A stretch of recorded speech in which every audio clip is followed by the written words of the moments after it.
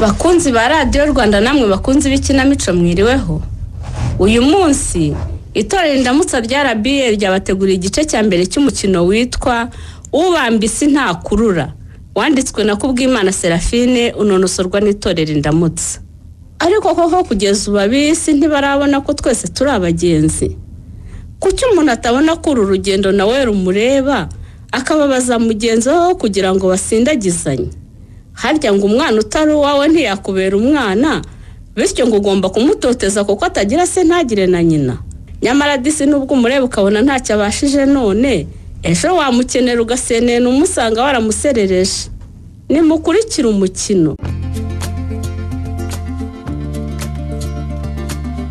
Ariko rero wa mukobwa nyoko yakureze nabi. Umuma uramushaka w'iki ko yirwariye ko? Nawe ahari nabivuga yareze umukobwa we nabi. Umwana uvugisha agahita aturika akarira niko washyano. Arijijwe n'amagambo atari meza umubwira ubwo se kubwira umwana ngo aritetesha kandi atazi ko nyina azakira urumva uvuze neza? Jya mu kazi kawe nawe wa gikobwa we. Kandi rwose uri neza sinzi uko ateye.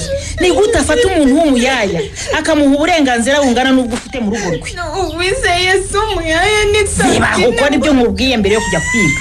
Asoni. Reka umwana ajye kwiga ibyo ushaka ko akora ndabikora. Ubwo akazavamo iki Hmm? murera umwana mutamutoza gukora mukumva azimarira iki mu buzima? Imirimo mike ihwanye n'ubushobozi bwe tumutoza kubikora muri wikendi ariko igihe cyo kwiga ntitumuzindukiriza mu mirimo ngo abashe kwiga. Njye si uko ndera rero. Ndavuze ngo nakuremo iyo myenda y'ishuri abanza akora ibyo namutegetse cyangwa arorere kujyayo. Ntibishoboka rwose njye sinasize Ye. numvikanye na mama ko ugomba kwiga cyane. Ibyo wumvikanye na nyoko jye ntibindeba.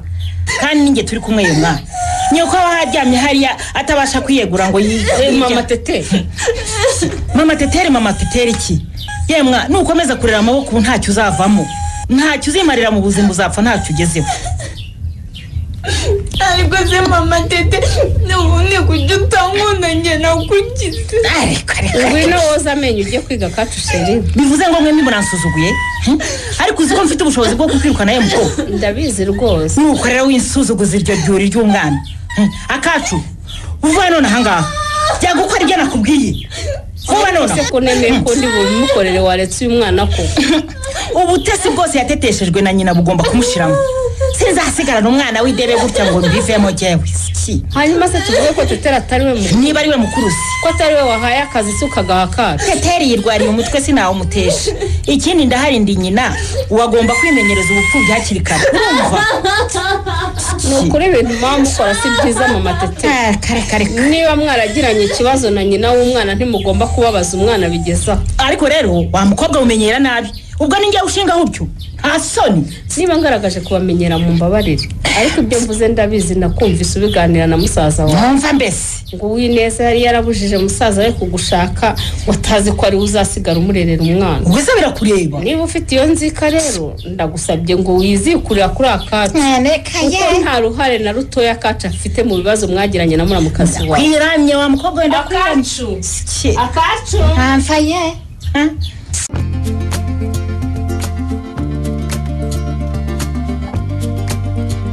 Ese wabyihora tukazabikora. Ejo ko mbona ufite intege nkeya. Oya madi. Nyegura ahubwo. Iby'ejo bibarameje njye mbara ubukeye ejo rwose navuye ahantu mfite icyizere ko mushiki wanjye agiye gukira. Ndabona yasubiye inyuma rwose madini ihangane. Ndakwinginze uzamenyera umwana dani ni wowe muvana kuri iyi si. Erega humura. Akacu ntazagire icyo abura. Akacu azige kuko akunda kwiga. Humura ziga n'ingenzi imana cyane ngo imbabarire insindagize nibura atangira yisumbuye ariko ndabona imbabazi zayo zigeze mu marembera. Wineza wikwihera bigezaho rwose humura. Hari icyo utazi madi iyi ndwara sinayimenye. Umwana wanjye afite imyaka itatu yonyine. Ndabizi. Hashize umwe mfushije umugabo wanjye. Si wowe ungira inama yo kuzana musaza wanjye uyu akiga ubucuruzi neza kugira ngo azabusigarana nderera umwana ntubyibuka ndabizi rwose. Dani. Kamuwine nizere ko imyaka umaze unsimbuye mu bucuruzi nta na kimwe kikikugora. Ndagusabye mwana wa mama. Uzakore cyane. Ibyo navunikiye bitazayoyoka humura ntaho azakora dore impapuro ngizi ndazisinye. Ikiza. Ni uko madina yazitubikira kugira ngo igihe nikigera umwana azazihabwe. Nta kibazo nzazibika neza wene kandi rwose ndabihamya ko daniel yamenyereye akazi. Mbere byabaga ngombwa ko asohoka mu gihugu tujyanye. None ubu arijyana rwose nta kibazo. Byose ndabizi kandi nzakora cyane sinzasibye izina ryawe.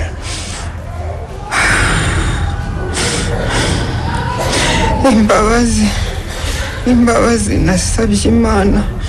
Nahasigarukiye rero mu byo mu byo nayisabye. Kwari ukugira ngo ubanze umenyere akazi ugakore ntacyo kindi nifuzaga. Ko nibohora umwana wanjye atangira yisumbuye. None ntibishobotse humura ariko humura ni ukuri sinshaka ko kacu yiga atekereza ko afite amafaranga bitazamubuza kwiga ashyizeho umwete yewe nagira imyaka makumyabiri n'itanu ni bwo muzamuha izo mpapuro n'uburenganzira bwose ku mitungo imwanditseho wikwiheba wene harabura amezi make cyane. Akacu agakora ikizamini cya leta. Ndumva. Ndumva byanga amadini ihangane. Ni ukuri cyangwa ubuzima burancika. Oya igihangano. Singisinzira komera ni ukuri kubera ububabare. Nta muti. Nta muti. N'umwe bashobora kunte- kuntera ngo mare ngo mare akanya ntaribwa humura none se ubu ntawagusubiza hanze kuko bakareba ko bakongera kukubaga. Nanjye ndumva ari byo wapi dani ayo ma ayo mafaranga.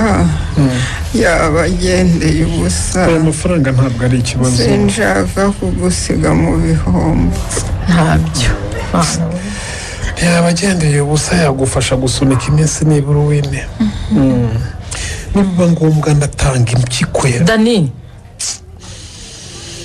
Sinshaka kubura mushiki wanjye madi. Ndabyumva. Neza twasigaranye turi babiri. Aba mushiki wanjye aba mama aba data aba mukuru wanjye. Ndabizi ni ukuri yavuye mu ishuri ajya gushaka akiri muto kugira ngo amfate ihangane wirira kuko wine wihangane. Ibyo uvuga ni ibiki dani ndavuga ukuri wine witangiye musaza wawe mwari musigaranye muri babiri. Mumaze gupfusha ababyeyi n'abavandimwe. Nko gusubira mu ishuri ngo wige wahisemo gushaka. Ubineza imana yari ikwiye kukureka ukishima kuko mu gihe wari kwishima ukigera mu rugo rwawe wabuze urubyaro. Imyaka iragenda itanu amagambo aguteranya n'umugabo wawe aragenda aba menshi. Aho guhereye akacu umugabo wawe barapfuye. Ni gute yatinyutse daniyeli wambabare ntuvuge amagambo akomeye gutyo kandi ubona mushiki wawe arembye gutya aragira ngo nzayavuga atagihari madi uwineza uramuzi ni inshuti yawe kuva yagera muri uyu mujyi atangiye ubucuruzi. Ninde muntu yagiriye nabi ku buryo imana yari kumugira itya Hmm? ko ahubwo buri gihe urugo rwe rwahoraga rwuzuye abantu yafashaga. Ndakumva ndakumva. Iyo neza.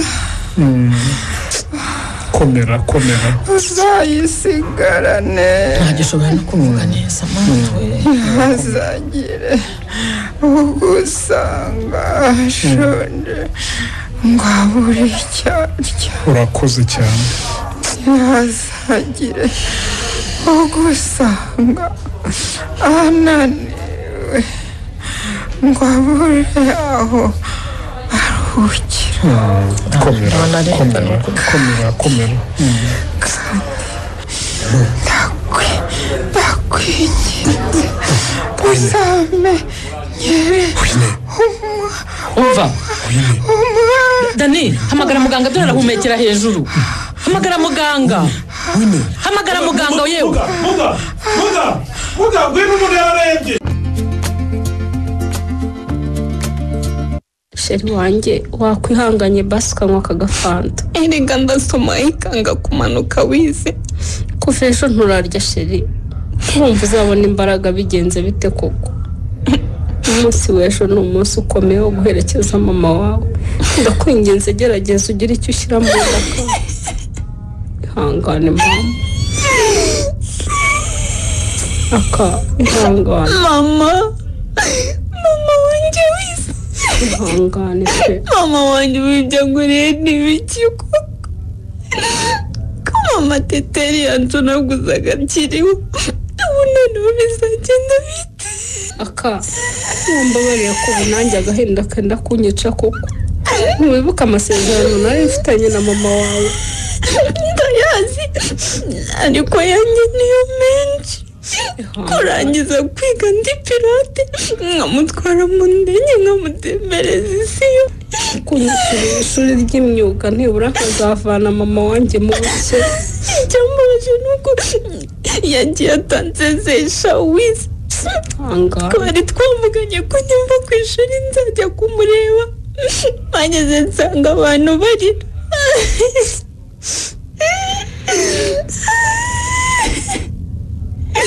kuki atantegereje ngo nibura mbwira ijambo rya nyumwogo ceceka sheri wanjye wirira aka uzi ko ngukunda cyane sibyo yego sinaba mama wawe ariko nageze muri uru rugo mama wawe ari umugeni turubanamo yarabuze umwana ngera aho mba umunyamafuti ndijyana nyuma y'imyaka itanu ngarutse nsanga aradutwite ngumaho kuva icyo gihe.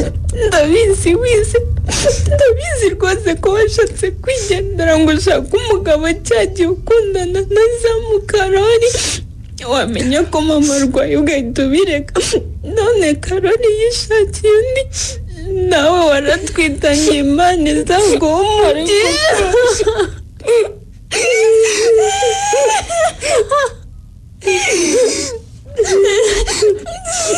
ko wari umwana muto igihe wabibwiwe n'ishyaka narabyumvise cyagiye mama avuye kwivuza hanze.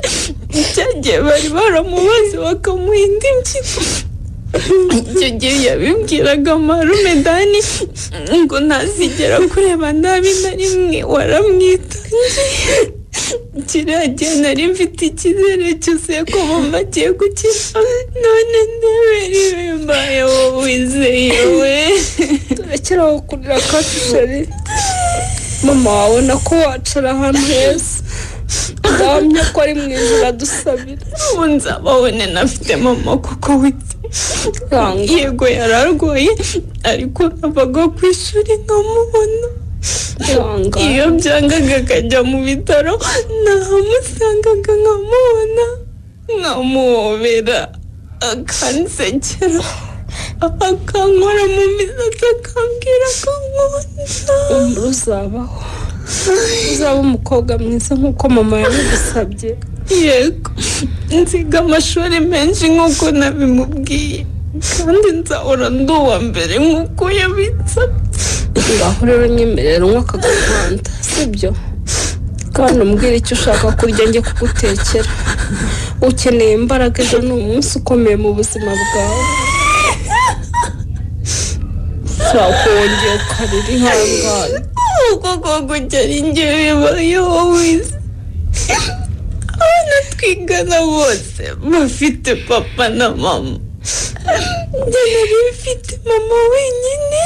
Nagira papa none nawe ndamubuze byose biba uko imana ibishaka wenda mwana mwiza. Kandi izi uko izabigenza ubuzima bwawe bugakomeza. Nafite papa na mama. Cyane. Icyizere cy'ubuzima nari mfite cyose kijyanye na mama wanjye wize nakubeshye rwose sinzi uko bizagenda. Aka twese nta n'umwe uzi uko bizagenda.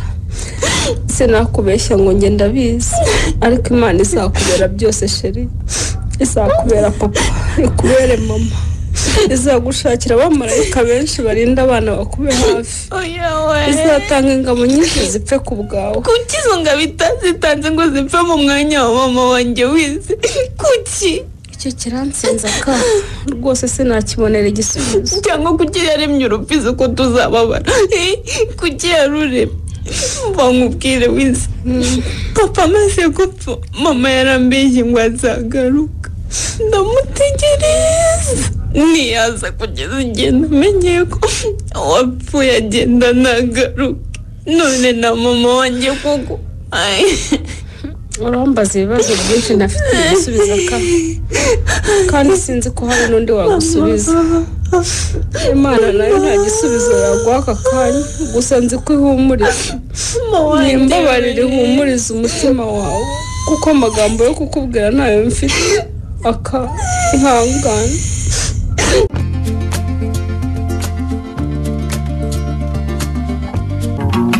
yewe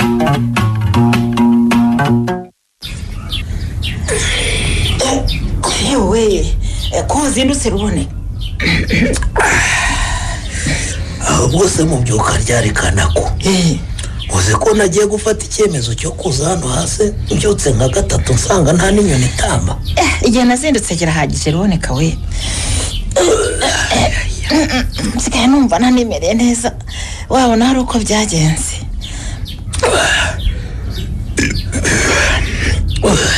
urayibyukanye se ngo usomye ura reka inywere sinjya nywa amabyeri ya mu gitondo. Mm, uretse mu kanya urireba icyo bita gukira. Eh, hari ugukira birenze kubyuka izuba ryavuye se? Cyangwa kugira ibikarito. Byuzuyemo inzoga z'amoko yose ugira ngo burya. Ariko ruboneka nawe ntukansebye. Cyangwa se igikarito n'ifirigo. He baba we uranteye mama we. Mperuka amafirigo yo mu tubari tw'iwacu se aba handitseho za coca cola sikoro pirimusi ibindi n'ibindi. Kiriya kimeze kuri akaba ari ubwa mbere ni bwo bwa mbere pe. Maze? No kugipfundura byari byananiye wa mukobwa we kagoboka ariko si ubundi ubwo iyo unywa byeri ishyushye koko eh? umuntu aramukira mu mikonjera. ubu gihe bagiye kunzanira ka kafe gashyushye umureti sipageti na potaje ngo ibiki iyo ni komande nyine ntanze mu gikoni. Eh? ikirere mwana wa mama muramukazi wawe yarakuvunikiye. Yarakoze kwishyurira umugabo wanjye amashuri akiga. Yarangiza akamusiga mu mari we n'umugabo we bavunikiye. Sinzibagirwa ko yandwanyije ngo daniel ntandongore ngo kuko ntizi. Ariko urukundo rukamutsinda tukabana. Namara gushakana nawe akamuzana mu mujyi akansiga mu cyaro. Akamubuza kuhanzana. Nkaza arwaye atakibyuka aho aryamye. None nkaba ndamaraye iwe. Ariko rero iyo ni inzika idafite umumaro kanagwa muramukazi wawe yarigendeye mureke rwose. Ewe. aho ubundi umugabo wawe. Yamvanye mu kigo bategeramo imodoka nkajya nibaza niba ari muramu wanjye daniel w'iwacu ntwaye mu modoka nziza. Nuko bikanshobera turagenda. Nkajya ngira ngo turinjira nk'ahantu hasanzwe. Ngiye kubona mbona twinjiye mu gipangu ngira ngo ni kwa minisitiri. Minisitiri. Wakubwira ko inzu turimo mushiki we yapfuye ataranayitaha. Ariko ntugire ngo ni we wayubatse arayirangiza. Yayisize mu ideni umugabo wanjye ni we waryishyuye. Ayishyura mu mafaranga avuye. Za muramukazi wawe na yo mu bucuruzi bwe. Ah, ruboneka inywera unezezwe no kuvukana n'umukobwa nka kana akuze washatse neza ibindi byihorera nyamara nubwo uvuga ngo uradamaraye naraye mbonye uwineza yarasize umukobwa utoroshye kanako wimbwira iriya nsibika y'umwana rubone ubu ko iherutse kunteranya n'umugabo wanjye tukarara dutongana ijoro ryose. Ariko se wanyweye kuko yabateranyije ate? Reka ntukambwire abana baretswe nabi. Yambwira yewe ngewe nakugira inama. umukozi wanjye agira atya ahamagarwe n'iwabo ngo nyina ararwaye agende bitunguranye. Ndebe nsanga akazi ka hano sinakabasha njyenyine musibye umunsi uyu umwe wonyine kugira ngo amfashe imirimo. Maze abibwire nyina amatongane ye gusa ngo yatonganiraga iki? Ngo umwana yasibye ishuri bitari ngombwa. Ngo wagombaga gukora ibyo ushoboye ngo ibyo udashoboye ukabyihorera ngo ariko ntubuze umwana kwiga. Ikikubwira umwana muba kugaragariza ko atari uwawe. Kuko yaba uwawe wibyariye. Ibyo ntabwo yari kubikora avuga ikizi wahura niko n'abarimu b'ubu bishyamutsa kubi.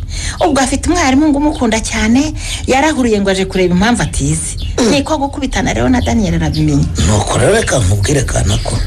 Witondere uriya mwana aracecetse ari kwagira rya kubirinduriramo ijisho ukabibona ko atakwishimiye nzabigira ntese sharubone. Ko afite nyirarume umukunda kuruta uko akunda uwo yibyariye icyo rero ni cyo mugomba kurwanya mbere ya byose. Uzi ko daniel afata isafari? Yaba akigera iyo agiye akampamagara mbere yo kumbwira uko urugendo rwagenze? Akambaza uko umukobwa wa mushiki we ameze? Harya? Buriya gafite imyaka ingahe ra? Nyina yapfuye gafite niba ari cumi n'ibiri. Nibwo kakoze ikizamini cy'uwa gatandatu w'amashuri abanza. Eh. ubu rero hashize nk'umwaka n'igice umenya ko ari hafi kuzuza cumi n'ine. Kiga mu wa kabiri wayisumbuye rero ubwo? Niwo kwigamo rubone. Tekereza ko kawusanzemo teteri udubuye kabiri. Tugeze no mu mujyi imyigishirize yaho yaramugoye. Ari nabwo yatangiye kujya arwara umutwe cyane. Kandi rero daniel ntamwumva. Ahora amugereranya na kariya gakeca kahatangiriye amashuri y'incuke. Ubushize kabaye aka mbere yabaye wa makumyabiri n'umunani ari umusibire maze umwana wanjye arahagorerwa ye. Nabwira se ntiwibagereranye teteri yigaga cy'ubundi abarwaye umutwe ntabyumve. Ntanabyumve namba Mm. Urumva rero ko gatangiye no kukubabariza umwana? Niko bimeze da? Uzi? Nkaho nyigiye nzaguma hano tugakomeje rwose. Ubundi z'ubwo daniyeli yatukaga umwana ngo aba wa makumyabiri n'umunani. Hari ubwo aba ari we wa nyuma. Yewe ni we wa nyuma mu mashuri y'ino ahenze higamo abana bake kandi b'abahanga.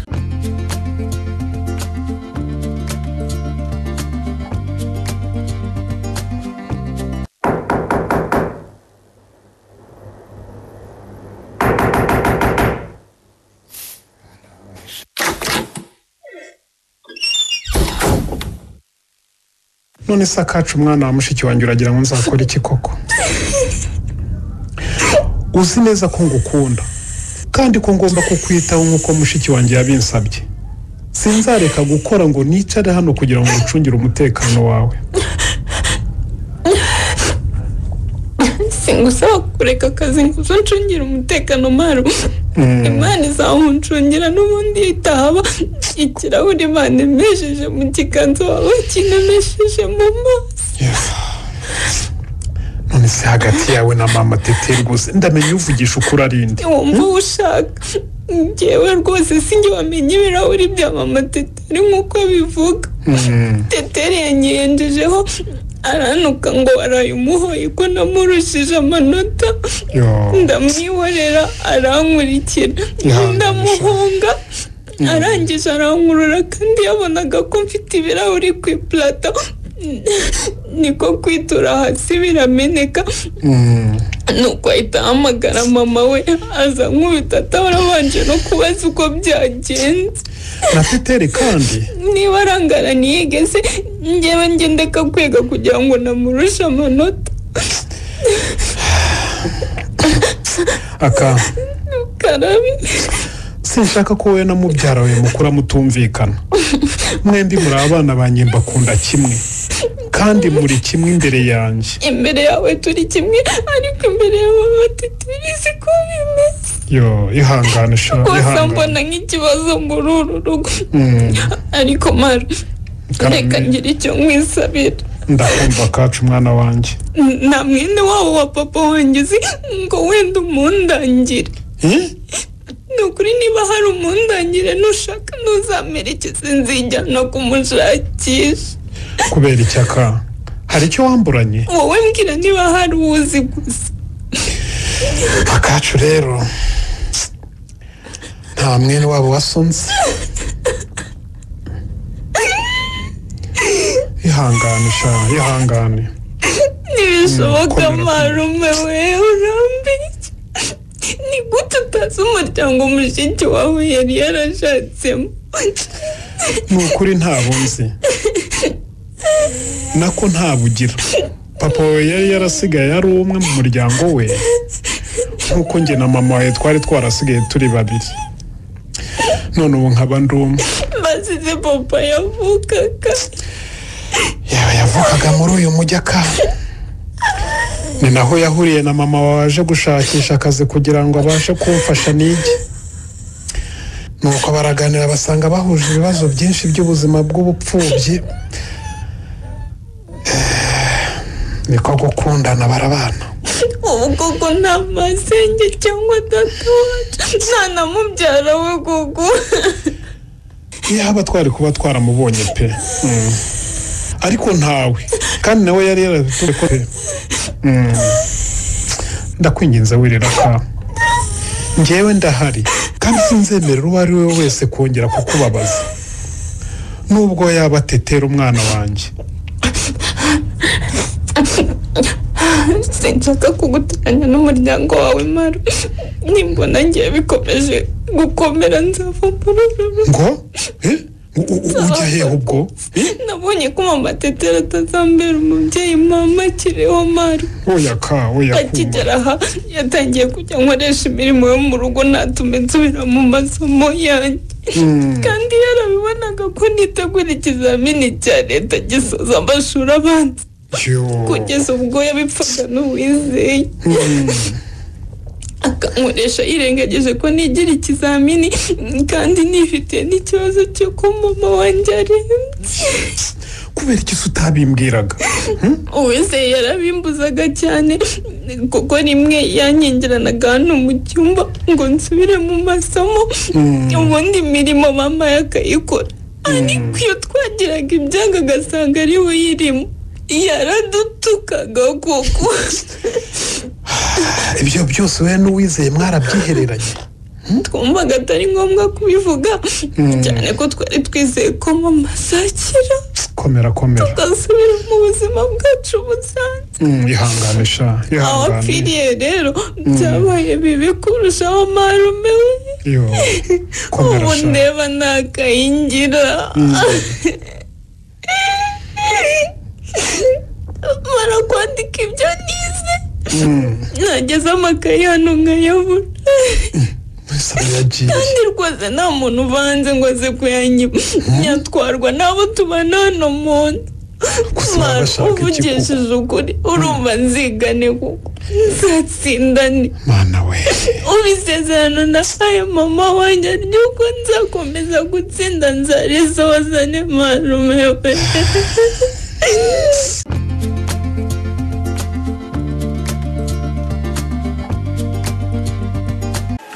atasiyo papi uzongera kuzana ibintu bya kisi turi mu ishuri wa cyana nari ngukumbuye mwana tete eh, umaze iminsi unyitsimba rwose. Eh, warihejeje mu rugo ngo urwaye umutwe. Nawe rega muri iyi minsi nta kantu wibitseho. Kandi nyine kubera kumenyera kunywa akantu iyo nakabuze rwose umutwe uranjye wavuze ko watinye ko tugiye gutangira ibizamini ukirwaza kugira ngo nutsindwa iwanyu batazakudima sha ubwoba bwo ndabufite. Kandi umunsi tuzafata bireti ni bwo dada azaba yavuye hanze none. uraseka ariko rero yewe ndashaka kuzaza iwanyu nkabwira papa wawe kuri umujama wanjye ibintu byo kukumenyera nyine akabireka. Wowe ntabwo uzi dadi papi ntabwo umuzi rwose. Ukuntu dada mfuhira byatari. Urashaka noneho ko azamitana avuga ko ariyo mpamvu ngira amanota make. Eh, nyamara rero buriya buriya rwose papi nakwishyira ku myaka.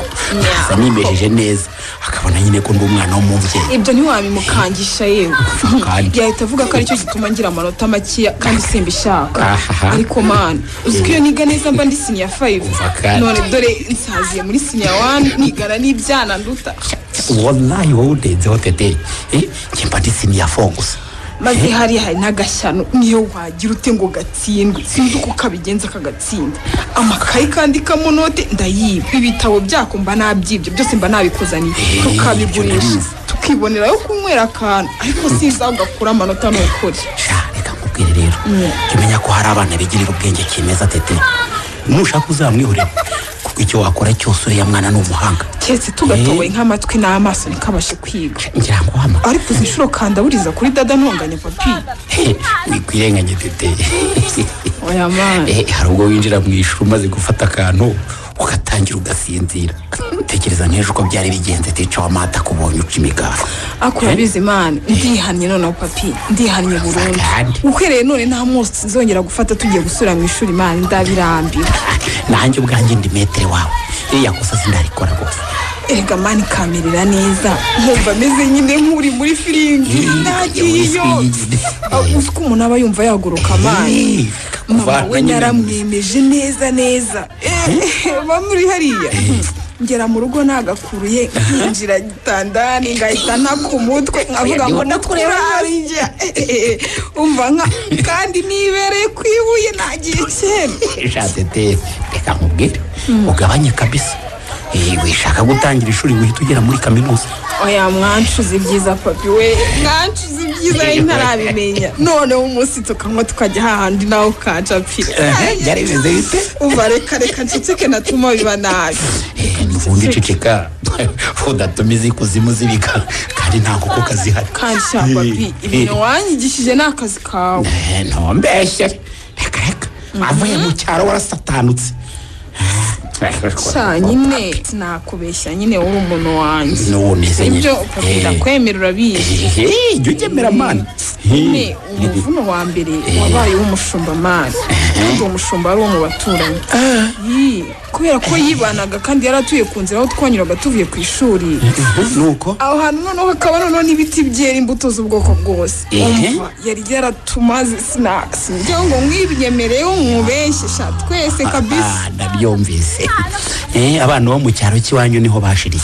None se shaka ko naganiraga n'umwana nkumva yarabimukoreye naganira n'undi na yo nkumva ni ukosha twese kabisa. Urabizi tete ndababaye rwose. Eh, umuvuna muhita w'umushumba wakuntanze umunsi namubonye nzamumena kasete ye ngo yakize ariko. E- e- yari yarigize umuntu w'umuherwe Ha- uzi ukuntu byagenze? Umukire yaraje. Yigurira isambu nini. Arayizitira ashyiramo inka ze. Yee. ahubaka inzu ye nziza akajya yizamo mu biruhuko n'umuryango.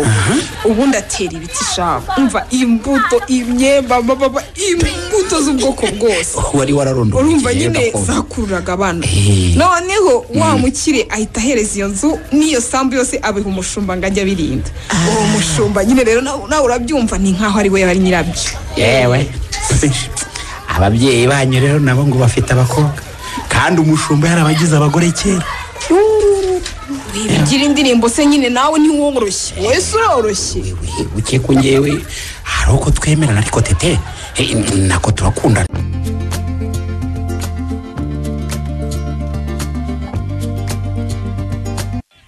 harya ngo uvuye mu misi wize ni ho mvuye kandi sintinda hano bampaye amasaha abaze. Hey. yewe reka nguhe agafanta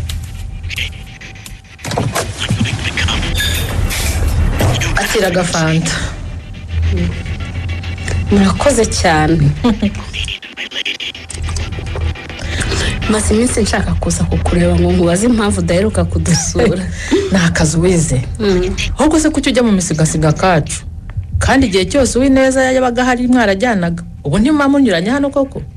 Aha ni nawe utumye nyura hano. Igitondo twabivuganye kandi ntitwava mu rugo twembi kandi ari we dusangiye akazi. Akacu ntiwakubwiye ngo unyure hano? Ngo ni we musangiye akazi? Yego. Ahubwo yashatse kukwandikira buri mwanya. Abura umwanya wo kwandika koko?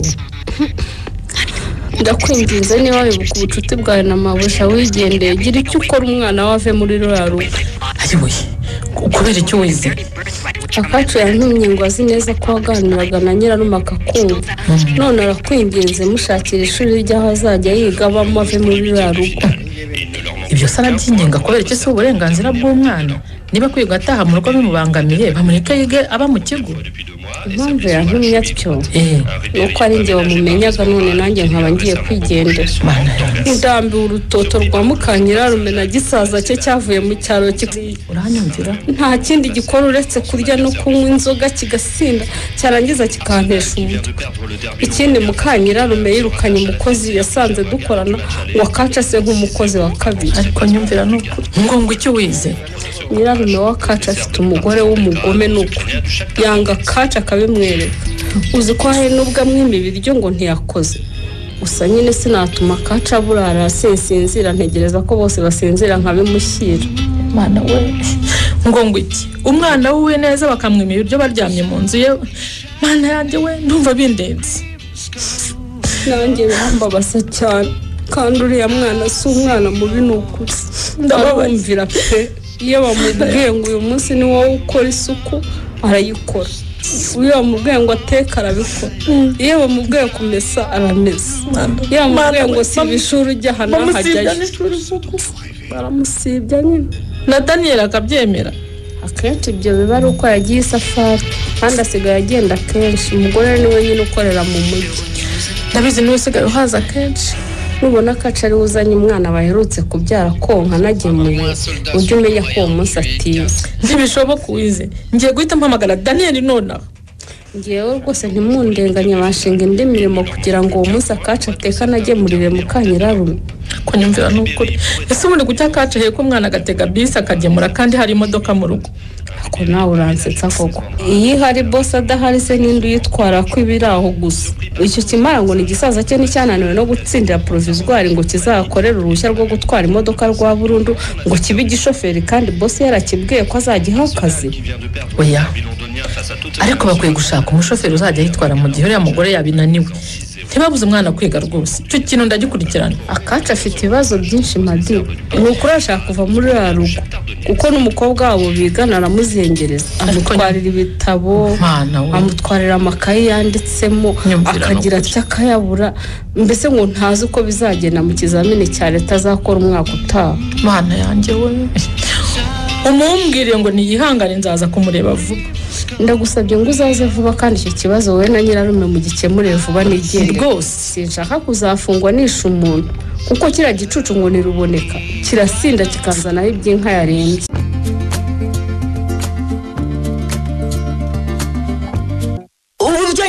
Mvuga ntubyiboneye danye. Eh, wowe ubwawe ntumusanze ku muhanda n'abahungu. Ejo cyangwa ejo bundi nibamutera inda rero ntuzavuge ngo sinakubwiye. Yewe rwose mba nabivuze. Ariko mama tete uretse kumbeshyira umbonanye n'abahungu kangahe? Rimwe se cyangwa kabiri. Umukobwa utaruzuza imyaka y'ubukure utinyuka ukazana umusore ukamurenza uruganiriro ukamujyana mu cyumba cyawe. Muba mugiye gukora iki? Eh? aka karame ibyo mama tete avuga ni ukuri. Ni ukuri nyine maro marume rwose nyumva. Marite yaje hano anzaniye impapuro zirimo note ngomba kwigiramo kuko ikayi yanjye nazanditsemo narayibuze Afashe. kandi nayiburiye muri iyi nzu rwose. Mama teteri rero arambeshyera maze agasuzugura akarusha abazima n'abapfuye. Jyewe uko ngana uku ndabeshya. Akacu. Eh, ndabeshya. Akacu. Karame. Ugiye hanze. Ugiye hanze asigarane mama teteri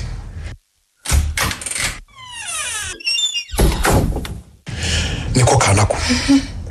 Wowe na kacu umwana ninde ariko wowe daniyeli uriya mwana wa mushiki wawe ntujya wemera ububi bwe nsubiza nsubiza kandi ibyo ni nkubajije. umwana mubi cyane. Ibyo nkubwira uhamagaye teteri yakubwira ko ari ukuri. Yewe naruboneka bari hano rwose arabizi neza. Ariko reba ukuntu aba ambeshyira ahubwo uvuze musaza wawe ndibuka. Uretse kuzana ibya musaza wanjye banza ukemure ikibazo cy'uriya mukobwa ushaka kwigira indakoreka muri uru rugo. Ibyo muvuga ni amagambo gusa. Kuko nta bimenyetso mubifitiye. Uravuze ngo ngira amagambo danye njya ngira amagambo. None se gusanga kacu ku irembo? Aherekeje mugenzi we bigana bivuze iki? Bivuze iki? Eh, ye. wowe mpagusanze uherekeje umuntu musengana cyangwa mucuruzanya mu mujyi ubwo nahita mbona ko ari ikibazo. Sawa danye sawa. Oya, Ndabiretse. ibizamubaho ntuzabimbaze. Eh, n'ubundi uhora umushimagiza ngo yabaye uwa mbere. Eh, kandi amanota abona yose. Teteri yambwiye ko yahabwa n'abarimu b'abagabo. Eh, mugabanye amatiku we n'umukobwa wawe. Kanaku ndabazi. Ndabazi. Eh, nubwo ntahari. Ariko nzakora uko nshoboye kose njye nzimenyera amakuru. Eh, ubwo ni nkaho akambwiye ko ntamubyaye. Nk'uko iyo ngize icyo mubwira nsubiza mva mbese ibyo ni amatiku kandi rwose ngewe sinkunda amatiku kanaku Nuko, urabizi. Mm. ikindi kandi wowe uri umubyeyi. Uriya mwana mwumve yihuriye n'ibibazo. Mm. ye. Eh, ubundi se urashaka gusimbura uw'ineza ukitwa nyina? Eh, ubwo ntiwumva ko ari wowe umushyiramo umutima mubi? Si nta mutima mubi mushyiramo. Eh, kuko ibyo nkubwiye biri hagati yanjye nawe sinabivuga umwana abyumva. Ariko akacu mwumve. Mwumve mwumve iki? Yabaye imfubyi ari muto. Ntiyari yanze kuba ari muri uru rugo ari kumwe na se na nyina. Niyo mpamvu rero agomba kuduhagarara hejuru njye n'abana banjye akaducyurira. Ngo inzu dupyatareyemo ngo niye ngo ni nyina wayubatse. Ngo ibyo turya ngo ni imitsi ya nyina. Ayo magambo akacu ntiyayavuga rwose ndabizi neza. Eh, nuko Eh. noneho ubwo ndayahimbye. Umwana wa mushiki wanjye murekekana ko? Mushyire hasi nkururutse ariko ye ahubwo ubwire icyo umusaza wawe ashaka muri uyu mujyi musaza wanjye se agutwaye. Iki agutwaye ikira buriya ubona nta kibazo afite. Nta na kimwe. Umuntu w'umusore ufite imyaka mirongo itatu ubyuka yicaye. Akanywa inzoga akarya akaryama nta n'ikintu na kimwe atekereza gukora. Kuzi neza ko yarangije icyiciro cya mbere cyayisumbuye ntabashe gukomeza se. Akaba nta mwuga yize. Agashaka akazi akakabura Eh. uragira ngo akore iki? Hmm, uragira ngo akore ikira ku buryo wumva ko ahazaza hari ukwicara muri uru rugo gusa se. Ariko ajya avuga ko abonye igishoro wenda yacuruza ibya mobayiro mani cyangwa nyine akazaba umushoferi. Eh, umushoferi. Mama shenge ubu se amaze gukorera uruhushya rw'agateganyo kangahe atsindwa? None se wazayimuguriye? Ariko wa mugore ubwo uba muzima. Ngewe nzakora icyaha gihanwa n'amategeko ngo ngiye kugura ibiki? Mm, nyamara njya numva mu mujyi bavuga ko iyo umuntu afite amafaranga ntacyo abura ngewe ni cyo cyaha cyo gukoresha abandi bantu ibyaha sinagikora. Uranze nkora ibintu biciye mu mucyo. Erega mwe mwazibonye kuko mwize cyane murasoma mwajya gukora mu gatsinda. Umva rero nkugira inama. Inama yihe uzavugane nawe undi mwuga yakwiga. Kandi n'ibyanga azasubire mu cyaro. Afata isuka ahinge. Nubwo nzi neza ko tukibaye atayikozaga. Ye. Bitihise. Tuzasezerere umuzamu agakore tumuhembe reka reka ibyo ntibyashoboka. Ariko kwirirwa hari imbere ya televiziyo ageretse akaguru ku kandi agaritse amabondo yirenza amayoga. Agasembe shaka.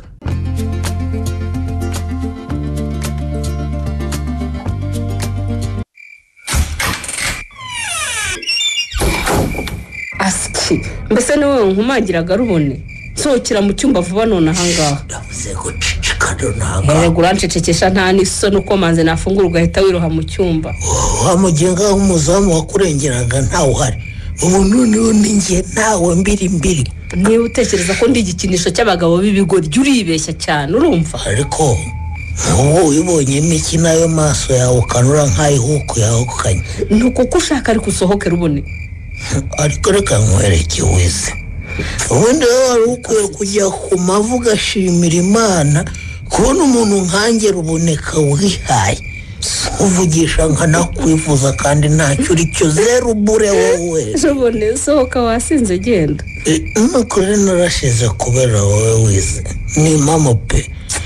Wirirwa hano mu rugo unzengurukaho amabuno yigira gutya ngo hepfo? Haraguru ariko ruboneka wasohotse ukamvira mu haraguru hepfo ariko reka nkubwire n'ibindi byiza ufite. Umbwira umbwira iki se? Kandi ruboneka wasaze. Reka nkubwire pe. Nubwo nagututse. Amaso rwose yo urora nabi pe. Urora nabi. Ariko ufite iminwa myiza shaho yewe yewe yewe. Hari ubwo ndeba agafilime hariya baba barumana. Ngahita numva nanjye naza nkakurura ariko mu cyumba urashaka? Ariko mbivuge byose. uvuga nibura nyine byatuma ungirira impuhwe ukamasha wowe zireka nkwereke pe ntakubeshya izagiye mana nakubeshye. Cyumba. useka neza ufite amabere ateye. mvira mu cyumba cyangwa mvuze induru ni ukuri reka nkubwire ndapfuye n'izina ry'imana asikiwe winkoraho wagicucu ndi igicucu nta kibazo. Ariko nibura basiremwa gusa. Sinzongera n- rubone wampaye amahoro nk'iryamira. Kuki umuntu akwinginga ntiwumve Eh? ku neza urabyanze none ngewe nkoresha ingufu noneho oya nta muntu n'umwe wo- kukumva reka urumva urangiza naba mu nzu ninjye nabafungiranye noneho tuzume ni- niwanga noneho noneho tubonane niba urapfa cyangwa nanjye mpe rubone ariko ibyo ushaka ntibishoboka umuntu akaba wumva wiyemera n'iki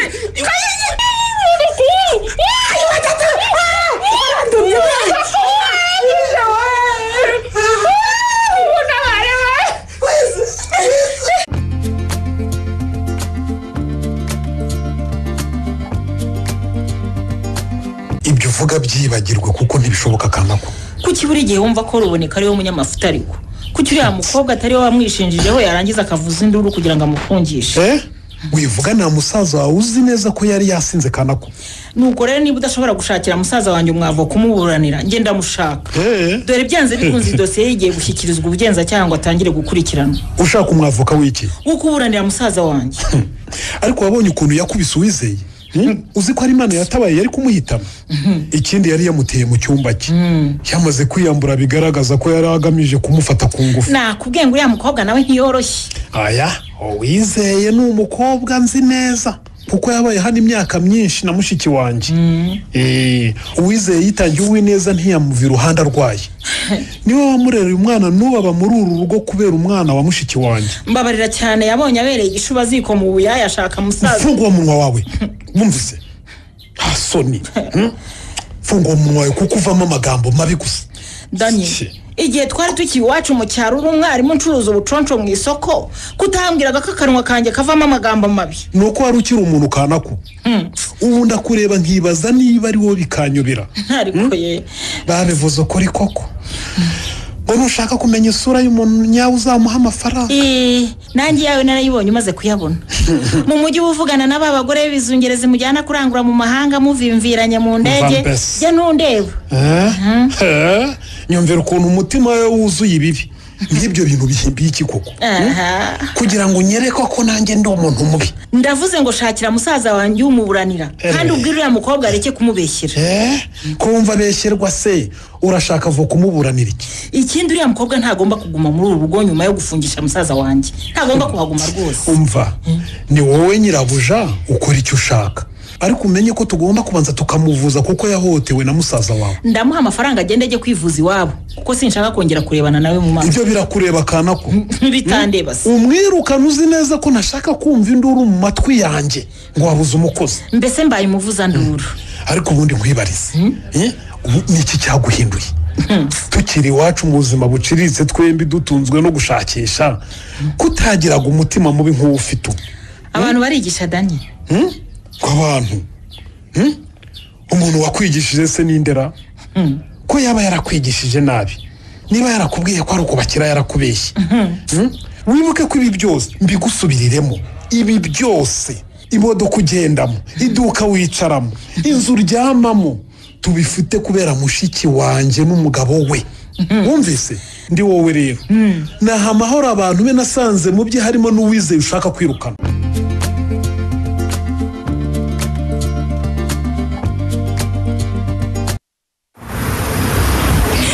Papi noneho ntakubeshye. Nkibona amanota yanjye nagize ubwoba bwinshi ku buryo numvaga ntashaka gutaha. Utatashye se wase siko navuye mu rugo mbeshye ko ngiye gushaka nimero nakoreye ikizamini ngo kuko iya mbere nayibuze none ubundi atavuga ngo ikikwere.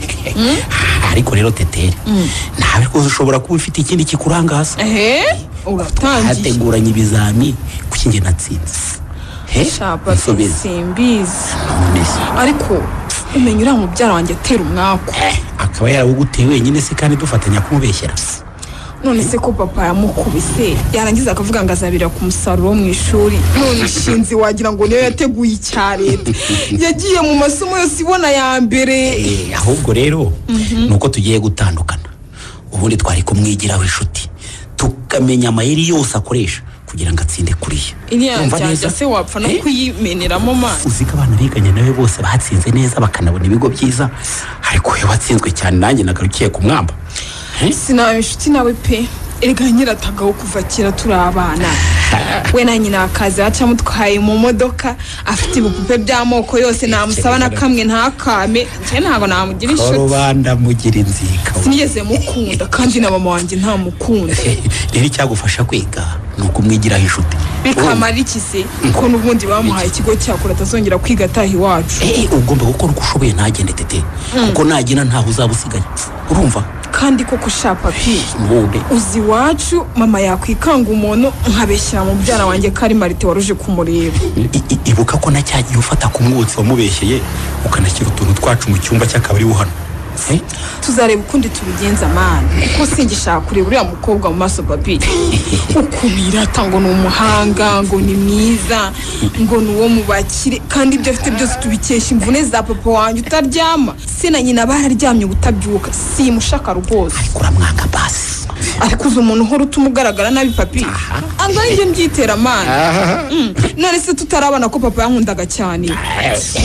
Noneho ariko nyine nkagira amanota atari menshi ariko nyine ntambwire nabi. Ariko ubu ngubu Eh. buri gihe aba angiranye na kariya gashenzi buri gihe buri gihe. Akambwira ngo undi mwana yiga ndi he? Ngo mbona nzimarira iki ngo niniga ngo nsinde? Umva bindya ahantu. Okay. Ni uko ahantu bindya nyine nabasha kuyishima niba wifuza ko agenda n'akazi kawe ubwo kwisha? Sinzagaruka iwanyu. Washaka pe? Urabizi iwanyu ndahatinya kuko papa waba ahari. None se kuko twikingiriza gutaha mushaka? Ndabikora kandi ndabizi ninumvisha mama ko agomba kuhaguma ntahazajya bazemera bamwishyurira ishuri ryigenga ariko agume mu rugo. Eh, hazahagume rwose. Kandi uzi ubwenge nyine wamwigiraho inshuti. Bityo nanjye nkabishutiye ubundi nkakwereka uko tumukosora. Uriya mukobwa ntumuzi ntiyakwemera kuba inshuti n'umutipe nkawe uzwiho kunywa utunyabwenge. Ariko se uretse kubivuga ninde wabimfatanye Eh, uko biri kose inshuti agira nawe urazizi. Izo mu rundi rwego. Ni bande rero? ba marite wo mu mbyeyi urababona eh? sareba imodoka zamo ku ishuri warayibonye? Eh? sha. Kandi nawe ngo ikizamini yaracyujuje mani maritesha mm? umwana wo mu bakomeye. Uzi ko nagerageje kumwikundishaho ngo tube inshuti akankuba na zeru buriya mwanga kubi. Ariko papi wanjye we nawe uzi kwisumbukuruza nisumbukuruza gute? Se mbese wowe wabonaga byashoboka we. Kubera iki? Nuriya bemerana kuko bombi baba ba mbere nta makuru ufite teteri we. Mama wawe. Papi we ndabigira nti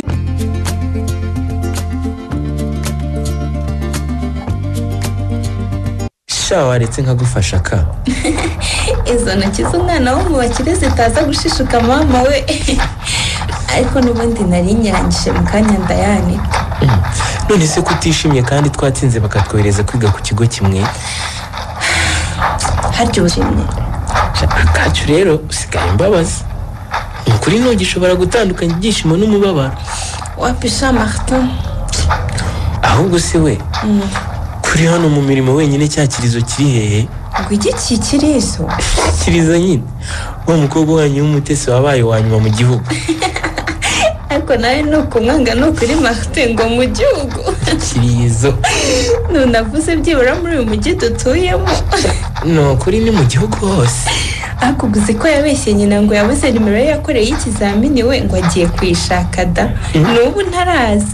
Niba azayishaka kugeza ryari? Numbaze. Umuntu utagukunda nanjye sinamukunda ka uvuze ko yakwibiye amakaye akakwibira ibitabo akaguteranya na nyina. Ntugize amanota ya mbere akaba yagize aya nyuma. Ibyo nkorerwa muri uru rugo ni byinshi martin. Niyo mpamvu n'ubu nyumva amanota nagize ari inzozi gusa. Sinzi uri umuhanga kuva kera ye. Ni ukuri nishimira kwitwa inshuti yawe. Nanjye nezezwa no kuba inshuti yawe martin. Ye, iyo utambera inshuti sinzi uko biba bimeze. Kuko uramfasha cyane amanota nagize nyakesha wowe pe oya? Uyakesha ubwenge bwawe aka? Uyakesha kwiyemeza gukora cyane. Sha unshimire na mama wawe ni ukuri. Uwamubwiraga ko nibwa ikayi agafata iyawe akayifotora nkabona note niga bitangora kandi nawe ndagushimira cyane martin kubera kugira umukono mwiza usomeka wamfashije kwiga bitangoye. Yo urakoze kunshimira. Kandi na mama yishimye cyane amenye ko batwereje kwiga ku kigo kimwe. Nanjye biranshimishije nubwo nzabishima tugezeyo martin. Ntawe uriheba ugakabya urumva utazakabya inzozi zo kwiga mu ishuri leta yaguhaye? Hari wowe ubwawe waritsindiye aka ukamarume n'umuzi sha martin. Martin. Karama kacu. Urakoze kuza kundeba nshuti yanjye. Ariko ugira ugende batongera kutubeshyera. Noneho na nawe twahera duhakana dore turi muri uru rugo twenyine. Sha wa mugani. Ariko zirengegera ngo ni papi na teteri. Zizi ko amavuta izirirwamo ari abandi bakora. Kwiyanduriza ubusubatuka martin. Bareke rwose ibyo teteri yifuje ntabigezeho amakaye yanjye yose yatwaye ngo ntsindwe. Ntabyo abonye. Ongeraho ko ibitutsi byose nyina yagututse bitaguhamye. Yavuze ko nzapfa ntacyo ngezeho se. Nategereze tuzarebe.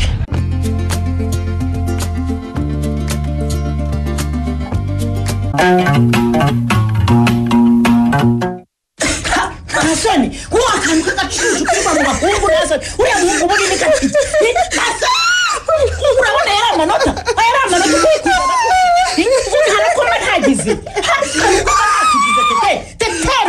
teteri urananiye ki nta soni ntabwo aranakwica nakwica rwose abarize urabizi ko ngukunda cyane mama. Icyo kinwa cyawe se nyine ceceka vuba nonaha sinshaka ko hari n'ukumva uko pfuye nta soni wagicucu ibiga byose ndabyemera ariko rwose ntiwongere kunkubita mama. ukuntu ugatinya inkoni ndabyemera n'ukuri papi turakundana ndabyemera ni we tujyana ahantu hose sinjye kwiga urumva ubugoryi bwawe koko ndanabyemera ko nakubeshye ngo sinibuke inimero nakoreyeho urancanga mu mutwe kandi nyizi kuko natinyaga ko numiye ko natsinzwe cyane.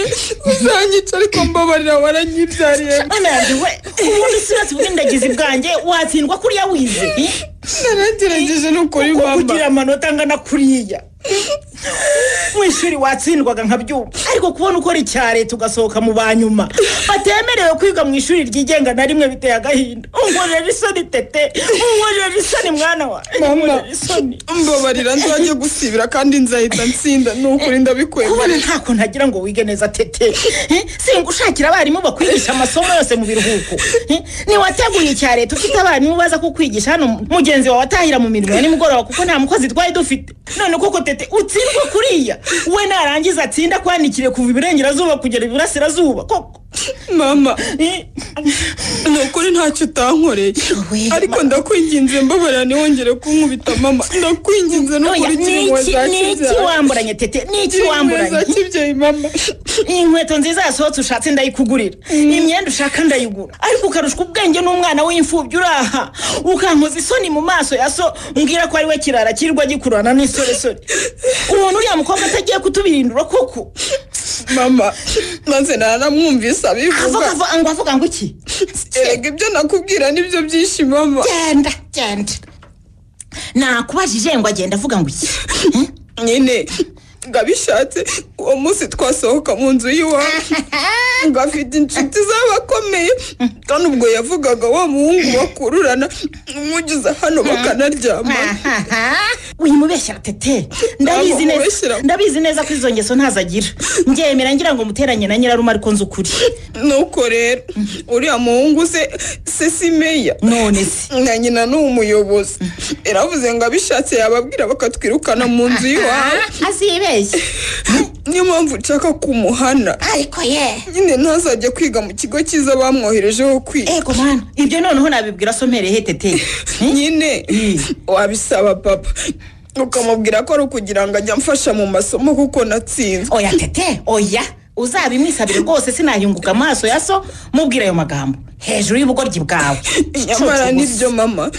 Yabona igihano cyo kutwirataho no kugenda avuga ko aturenzeho azavuga ibyo ashaka ibyo dutunze twarabikoreye di. Jye na so turakora cyane kandi mwe twabyaye nimwe dukorera. Urabyumva? Mama ubwo urabyanze koko? Akacu azajya muri eterina. Atayijyamo se. Nawe ahubwo tuzagushakira ishuri ujye gusibira uve hano. Wenda ni bwo wamenya ubwenge. Mbona warigize ikintu cy'ikigoryi kitamenya ubwenge njyewe mama. Ni wowe nyine ubwo se urumva nava hano n'ukuntu ndwara umutwe bikagenda bite koko? Kuzi ko ujya umerera nabi cyane. Genda.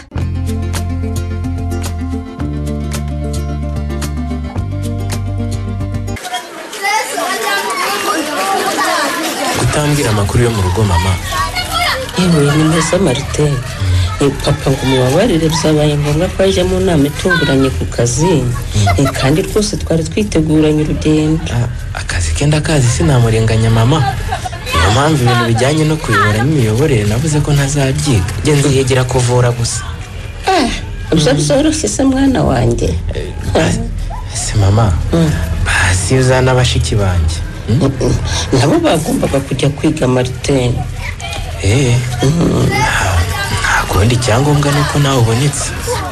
Ese undi mwana ari hehe Hmm? jya kumuhamagara aza nsuhuza uwuhe mwana mama? Uwa mugenzi wawe mwiganaga. Ntiwambwiye se ko babohereje kwiga ku kigo kimwe? Ugira ngo se byaramukundiye mama? N'ibyishimo wari ufite ngo umuziga hamwe. Ku munota wa nyuma byarahindutse. Ubu rwose nibaza uko yiga ntahari ngo murwaneho nibamwibira amakayi nguhe note nanditse uzimufotorere bikanyorera yo ariko uzi ko ngo uketse marite niyo mpamvu washatse kwanga kuza kwiga kuri iki kigo sinakubeshya niyo mpamvu mama. Nashatse icyo mbeshya ngo mundeke nkomeze kwiga ntaha mu rugo muri hafi ndakibura. Mbebere rwaje ndaza. Ariko nyine mpora muhangayikiye kuki se utambwije ukuri mwana wa? Urabona hari ibaruwa namwandikiye mugira inama z'uko agomba kubigenza kugira ngo Eh, ndakwinginze mama. Niba ngombwa uzamusange ku ishuri ariko uyimwihere mu ntoki. Njye ariko ubwo nemerewe kuyisoma? Kumva waba uyisomye ari iyawe koko mama? Gusa uzagerageze umubone. Mubaze inzitizi afite mu kwiga urebe ko hari icyo wamufasha mu mwanya wanjye. Akenshi yigiraga muri note zanjye wafotoye kubera ko igihe cyose aburira amakaye iwabo mu rugo. Iwabo se haba imbeba ziba amakaye? Imbeba muntu mama. Mubyara we na mukanyirarume batamukunda. Baba we. Kandi ma ushatse wamukunda ukajya umufasha kuko n'umwana w'imfubyi nk'uko wakuze. Ibyo bintu ni inshuro ya kangahe bimbwiye marite simbizi mama. Gusa ntekereza ko natwe dufite ababyeyi mudukunda. Mukaduha ibyo dukeneye. Mukatubwira amagambo meza ntacyo twatanze. Byatumye nkunda imfubyi. Yo kurya uri imfura yanjye umubabaro w'ubupfubyi wose winjiye mu mutima wawe mwana wanjye. Sinari nzi ko umuntu abura inkweto zo kwambara atari uko ahaba babuze amafaranga mama. Ahubwo ari uko izo yari afite bazifashe bakazitwika ku bushake kugira ngo bamubabaze gusa. Hehe ariko abo nabo si abantu rwose bakora ibyo? Nubona ngeze amanota make rero uzamenye ko ari uko ntiga neza. Buriya hari ubwo nasabaga papa amafaranga atari uko mukeneye mama. Ari ukugira ngo nze kunyura ku isoko mugurire udusandari abashe kuza kwiga. Kuko hari ubwo yabyukaga agasanga nta rukweto na rumwe afite. Uretse silipa birababaje. A- a- ariko rero abo bafite umutima wa kinyamaswa bakwiye guhanwa ni ukuri. Wamenya uhana dese mama? Abo bose babikora. Mukanyirarume kugize mubyara we se? Bose se ko batamukunda.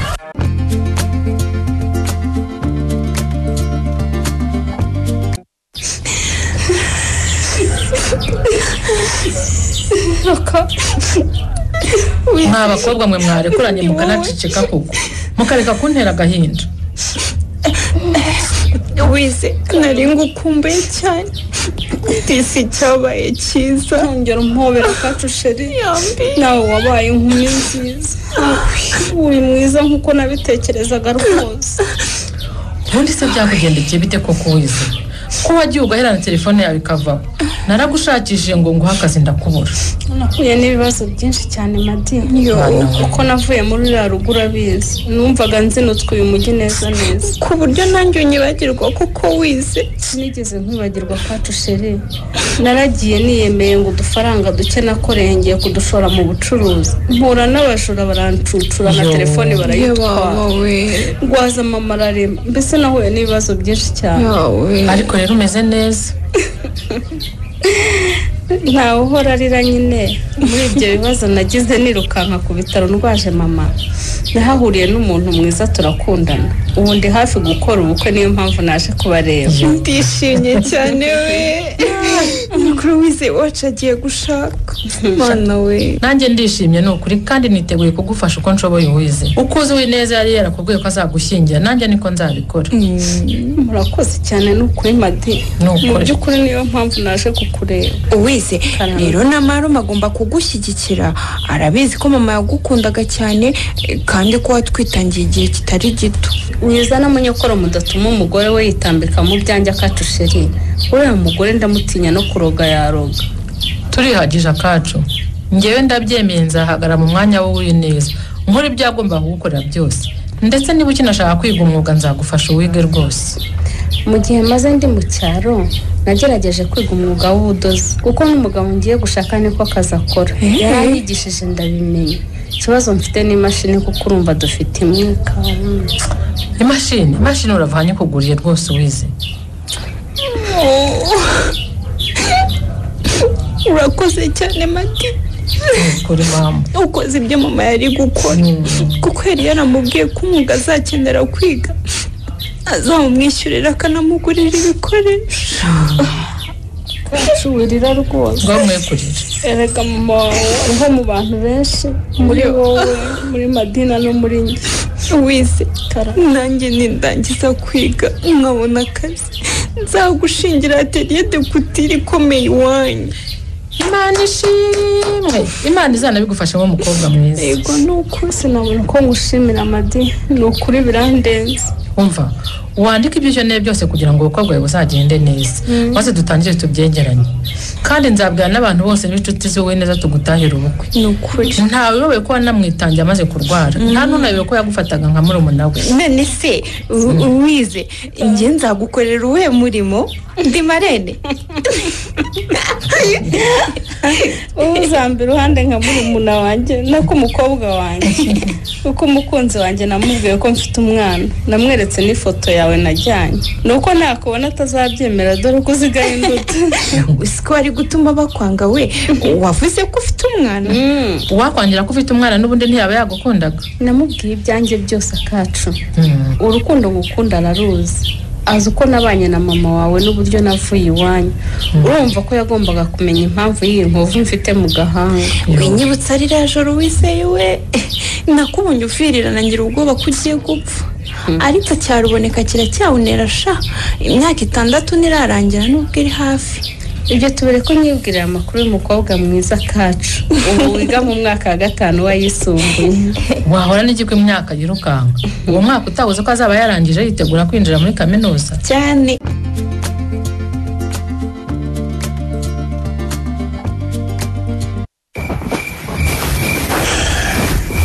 Kandi nukomeza kunsakuriza ndaguhunga kanako watereranye musaza wanjye kuva bamufunga ntiwamusuye cyangwa ngo umugemurire. None n'aho afunguriye ni ukuvuze koko danye kanako ibyo ruboneka yakoreye muri uru rugo urabizi. Sinshaka ko azicira umuntu hano. Ariko yarakosotse imyaka amaze muri gereza irahagije yari. Nakubwiye ngo simushaka muri uru rugo. Wumvise? Ubwo ni nkaho wakambwiye ko utanshaka. Ubifata uko ushaka kanako. Gusa unyumve ngewe mfite abana b'abakobwa barenze umwe. Sinshaka umuntu w'igisare nka ruboneka hano. Basi se muha akazi ajye kwikodesha ariko se wamuretse agasubira iwabo mu cyaro ko afite se na nyina? Kuki umushaka hano? Data na mama barashaje sinshaka ko ruboneka ajya kubatesha umutwe dani Eh, mbese ntajya gutesha umutwe ababyeyi bamubyaye aze hano kuwuntesha ngewe n'abana banjye. Icyo ruboneka azira ndakizi dani ndakizi rwose. Eh, arazira iki se kindi? Uretse amafuti yakoze akanayafungirwa. Arazira ko yirukanishije umukozi wasizwe na mushiki wawe hano.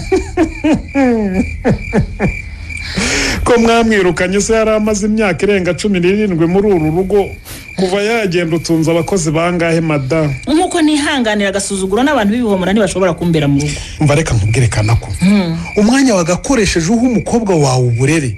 Uwumara mu matiku no gucura imigambi yo kugirira abandi nabi. Nk'uwamaze gutsindwa icyiciro cya mbere cy'amashuri yisumbuye kangahe ko? Ariko rero nawe urabizi ubushize yararwaye cyane niyo mpamvu bitakunze. Wamwesha umutima nta kintu na kimwe ashobora gukora aha muri uru rugo. Hmm? afite inzara mana yanjye we. Eh? wagira ngo nize igisiga gifata inkoko. Eh? yewe byose icyabiteye ndakizi. Subiza umutima impembero kanako. Hmm? ushyira uriya mukobwa ku murongo. Urabizi bizinesi mfata igihe ndi hanze kurusha uko mba hano mu rugo. Iyo nje nabwo nkubitana n'ibirego nka miliyoni birega umuntu umwe. Eh? nyamara urega ko atiga ni we wiga agatsinda. Rekera aho danye rekera aho rwose sinshaka kumva umuvuga. Ko agiye kwigira muri kaminuza se noneho muzakorerwa nandera nakubwiye ngo rekera aho tugaruke kuri ruboneka niyo watumye ngukangura. Ruboneka nitumugarukaho kuko nakubwiye ko ntamushaka muri uru rugo. Seto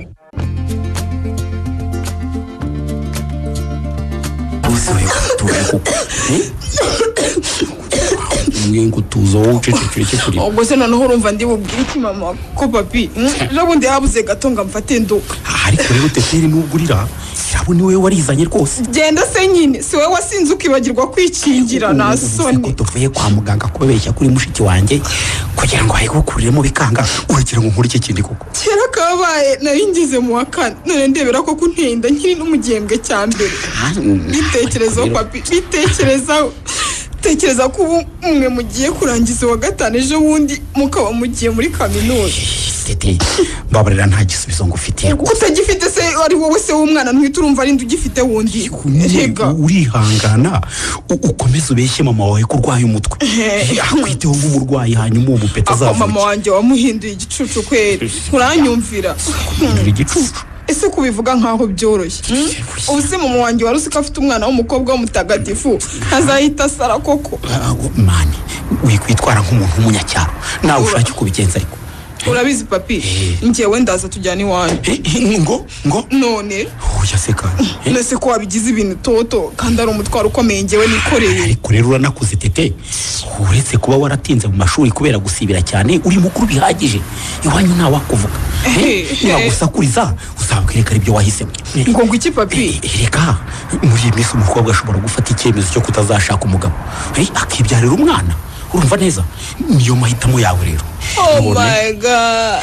Gadi se gadi gadi biki papi sinari gutekereza uryo buriya ntiyatwiyongoje nyine nta kindi mpano basi duhindure ivuriro sibyo? Tujya ahandi tubabwire ko tuva indi imwe wabona bo babyemeye. Tete niba byose byanze urebe uko ushaka amafaranga iwanyu tuzajya ahantu nkwereke ahantu hameze hati se papi. Ni ahantu yewe wowe ugenda ushake kashi ubundi uzaze nyine bagutunganye neza urebe ko ibibazo ufite bidakemuka. Ahubwo si ubwo amafaranga uba umbwira wowe ubundi wumva nayakura he eh wumva nayakura he koko papi? Ese ubwo ubundi nangaye reka ni duke cyane? Ni uduhumbi nka magana magana Hey, ayo mafaranga nta nabona papi. Ntayo nabona. Wowe ukora diri zo gucuruza turiya tuntu uyashake kandi uyashake vuba cyane tutararaburiza. Uranyumva? Ntaraburiya nishaka ubwo rero ni ukurya minerivare. Naho ubundi nanjye sinayabona. Papi umenye ko nundaburiza bizaba nabi? Bizaba bibi cyane.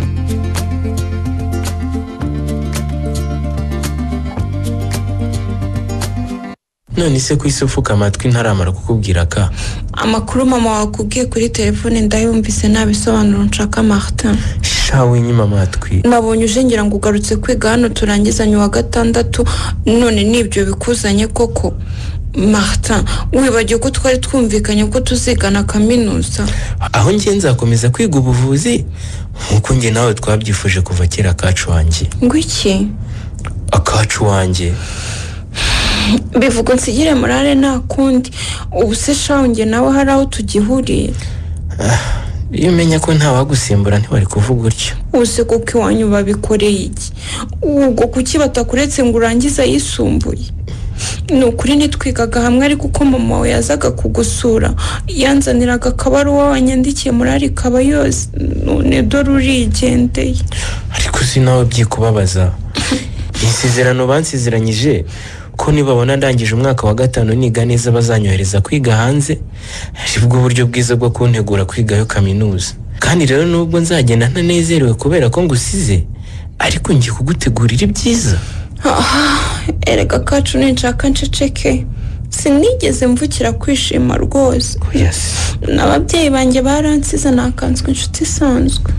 Ubu ndeke buruse nari kuzishyurirwa byose bari bamboneye ngumi nako kaka. Ese urumva iwacu babyemera? Oya niba bazakwishyurira byose genda wiga inshuti yanjye. Nkubujije naba ndebye uruhande rumwe. Ntiwumve icyo ngukundira? Ni iki se? Akacu. Ntujye wirira wenyine igihe cyose utekereza no ku bandi. Akacu uri umukobwa mwiza uzi kwihanganira ibyo uhuye na byo byose mu buzima. Byigishijwe n'ubuzima sha martin. Sinjya mbona hari ikintu kibaye ngo kigusaze. Ushobora kurira ntihagire ubimenya. Keretse nyine umuntu ukuzi neza ukuriyumanganya mu kanya gato ukaba wowe. Nkaba ngewe guteza ubwo? Ukaba wowe umukobwa mwiza uhora akeye ku maso ukamwenyura neza cyane. Ariko martin aha magambo usigaye uvuga wayavanye iyo uvuga utabimbwiraga kera tukigana. Ah, nari ntaramenya ubwenge shaho we aho muviriye iruhande nkajya kwiga mba mu kigo. Natwaye ka gafoto twifotoje nka karasi yose yari irangije umwaka wa gatatu kandi uribuka ko wari unyicaye iruhande iyi maze nkajya nkwitegereza umunsi ku wundi. Nasanze ufite ubwiza bwihariye. N'ukuntu uriya munsi nari nishimye na gato we. nari mvuye mu rugo mukamaruma ambwiye amagambo mabi ngo ntacyo nzimarira ngo nzarinda mpfa nagize icyo ngeraho n'ibindi byinshi. Anzize iki? Ngo sinigisha umukobwa we nk'aho undi mwarimu. Wamwenyuye neza cyane. Ku buryo mu bakobwa bose bari bari kuri iriya foto ari wowe ndeba nkabona ubwiza budasanzwe. Ni uko turi inshuti nyine. Ntabwo turi inshuti zisanzwe nk'uko ubitekereza. Kuko uri umukobwa nkunda cyane wowe akacu. Ngo? Nanabibwiye iwacu kera cyane nkiri umwana ko ari wowe uzaba umugore wanjye. Ngo iki martin?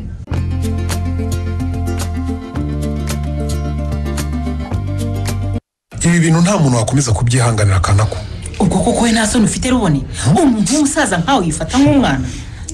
Mumbabarire ariko rwose narenze ko ari ibintu byoroshye sinarenze ko ari uko biri bugende burema. Ni ukuvuga ko iyi modoka itagira rarume twari gusanga yagiye byarangiye. Ariko nyine njyewe yaje arambwira ngo muramutoni.